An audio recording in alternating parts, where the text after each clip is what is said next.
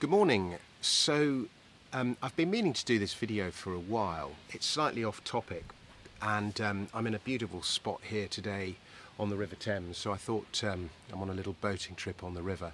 So I thought while I was here in this lovely spot I should record this video.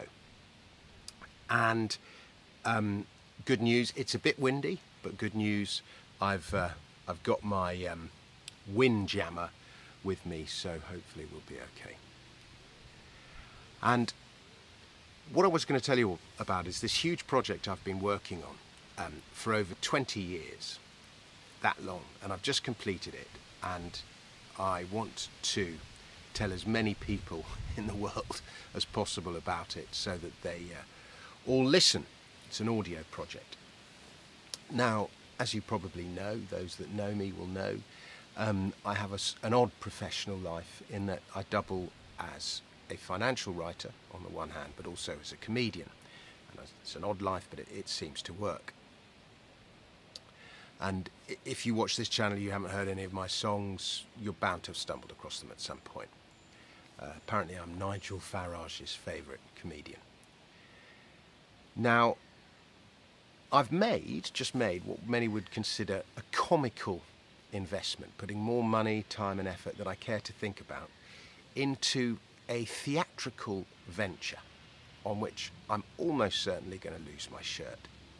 It's got a cast of over 50 people, a 15 piece orchestra. It was recorded at Abbey Road, no less.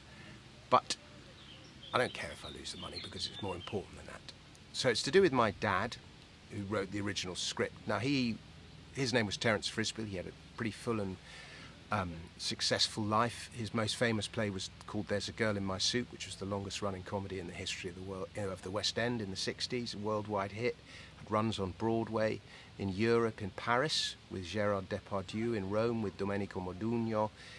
Um, it was made into a film with Peter Sellers and Goldie Hawn, and uh, Dan, Dad won the uh, Writers Guild Award for the best screenplay. Another of his uh, things, a sitcom, Lucky Fella, starring David Jason, uh, as one of two working class brothers living in a council flat in southeast London. Does it sound familiar? became the model for Only Fools and Horses. It was one of ITV's most successful series of the 70s. Another of his series, That's Love, would become one of ITV's most successful sitcoms of the 80s. Dad lost fortunes, he made fortunes, he won awards, he had a string of high profile court cases and beautiful girlfriends, a glamorous wife, my mum for a bit, and uh, plenty of fresh air. But there was one thing that nagged away at him constantly, like squirrels in the attic of his mind, and that was that he never saw the best thing he ever wrote on the West End stage or on screen. And that thing is Kisses on a Postcard.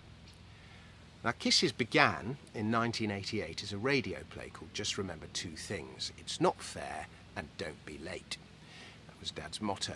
And it was a series of reminiscences about his experiences as an evacuee during World War II.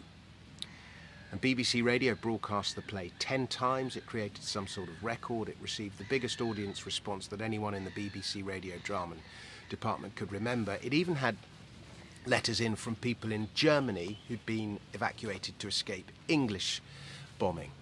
Um, it won the Giles Cooper Award for the best radio play, and it was sort of mentioned critically in the same breath as Under Milk Wood and Cider with Rosie.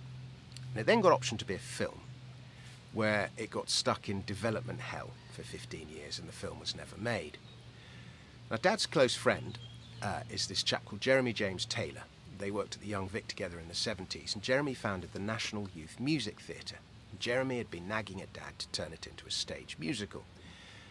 And a chance encounter on a golf course in 2002 in North Devon was the catalyst. And having had the theatre thrust upon me since an early age, I'm not as crazy about it as some. My view is that theatre mostly disappeared up its own backside in around, I don't know, 1974, never to return certainly the subsidised stuff anyway. But I've had the theatre shoved down my throat since an early age. Mum loved it, Dad worked in it, Dad adored the theatre. But against all expectation, this tiny community theatre project at the Queen's Theatre Barnstaple in North Devon with mostly amateur performers and a little known Welsh actor by the name of Derek Crew in the main role was the best thing I ever saw in the theatre. I remember seeing the producers in the same week, and I liked the producers, but this was better. And suddenly, on seeing this, I understood why Dad, Dad loved the theatre so much and what a brilliant medium it can be. And it became, I fell in love with it, and it became one of my lifetime missions to get kisses on a postcard on. It's one of the reasons I actually became a financial writer. I was trying to figure out how to make enough money to put it on. We needed three to five million quid. We tried for many years to raise that money, three to five million quid, to, to bring it into the West End, but then we ran into the global financial crisis in 2008. I remember giving a presentation one evening uh, in Mayfair at a billionaires club. Club where billionaires met. There were more than 20 billionaires in the room. And it was the 6th of October 2008, which was the day the Icelandic banks went down. So it's pretty hard to secure their interest. Anyway, Dad died in April 2020. Probably not a bad time to um, to go to shuffle off the more, this mortal coil, given what was going on at the time. We were just going into lockdown.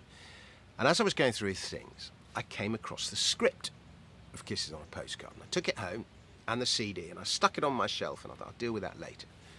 Then every day, as I was looking up from my desk, this thing would kept catching my eye and looking at me longingly like a dog wanting a walk. And after several months, I was like, I can't let this die. It's just too good to be a script gathering dust on a shelf. And if I don't do something about it, no one will. Now, to turn Kisses into a film or a West End show would require millions and, more crucially, powerful allies. You need allies in screen and on TV, and I don't have them. But having spent a large chunk of my life in a sound studio, I do a lot of voiceovers, as well as the financial writing and the comedy. I did have the means to make some kind of audio project out of it, an audio drama podcast thing. Like a 1970s concept album, War of the Worlds or something like that, but reformatted for the internet. Needed a lot of rewriting, I could do that. The music still wasn't right. Gordon Clyde, who was the original composer, had died in 2008. Dad had turned to various others to fill the gaps each of whom did their bit beautifully, but the overall result was just a sort of bit disjointed. It needed a unify. So I turned to one of my occasional collaborators, chap called Martin Wheatley, who is uh, a genius who has somehow managed to remain undiscovered his whole life. there are quite a few of them out there. And by coincidence, or as I call it, fate, Martin's father had also been evacuated to Cornwall in World War II at the same time. So we set to work during the lockdown. We composed about 10 new songs as well as unearthing and reversioning a load of Cornish folk songs that only Martin and about three other people have ever heard of. And we've kind of been dogged with we've been dogged with good luck ever since. John Owen Jones, who was voted the best ever Valjean in Les Mis and the longest running Phantom in Phantom of the you can guess what. He played the lead role of Uncle Jack, the man who would become stand in father to my dad and his brother, my uncle. This character was Uncle Jack. He was a former Welsh coal miner, now a plate layer on the Great Western Railway in Cornwall, fierce, humorous, passionately anti war and anti establishment. And when I first spoke to John, and I'm still not sure who was auditioning who, John said, Les Mis, Jesus Christ Superstar, they all started as concept albums. And if you're doing it any other way, West End or theatre, I'd go, no, do it as a concept album first. It's how great things start, great musicals. So then we got the most brilliant cast, we got the most brilliant kids. Everyone was available because of COVID. We had Marcia Warren, who's double award winning, double Olivier award winning. She's the Queen Mother in The Crown. Um, Rosie Cavaliero, who you might know from Wurzel Gummidge. I was at university with her. Katy Secombe, Harry's daughter from Les Mis. Evelyn Hoskins, Ian Virgo, Simon Thomas. And we were all set to record at an orchestra in a London studio.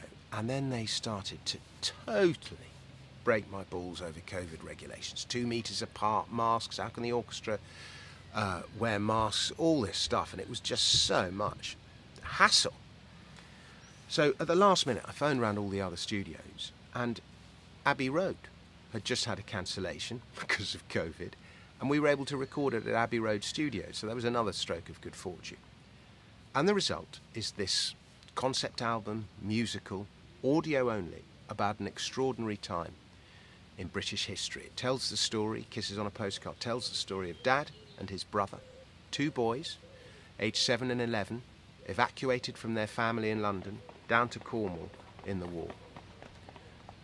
And those two boys, the other tells the story of those two boys, the other kids who were evacuated in the tiny Cornish village during the war, with its conflicts, kindness, pettiness, generosity, and gossip, all turned on its head, first by the arrival of so many children, then by the arrival of American soldiers prior to D Day. And here's the thing quite a funny thing. It was a whole regiment came to the village of black GIs. No one in the village had ever seen a black man.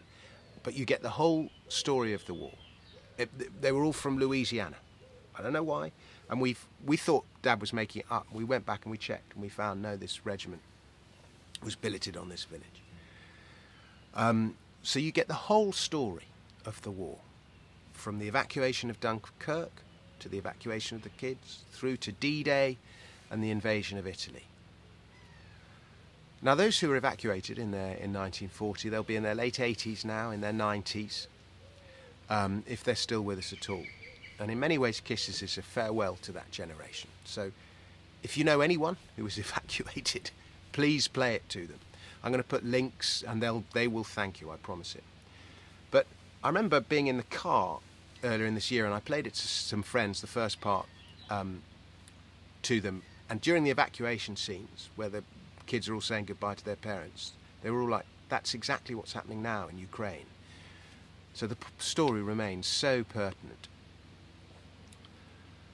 As I said, Dad used to get letters from people in Germany who were evacuated to escape Allied bombs.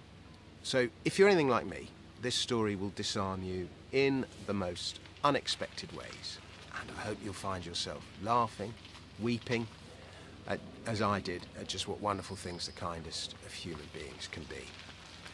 So, what can I say? Please listen to it, share it. It's available via kissesonapostcard.com. You can either order a CD and or just listen to it as a podcast. It's also available on Bandcamp. I'll put all the links in the comment, comments.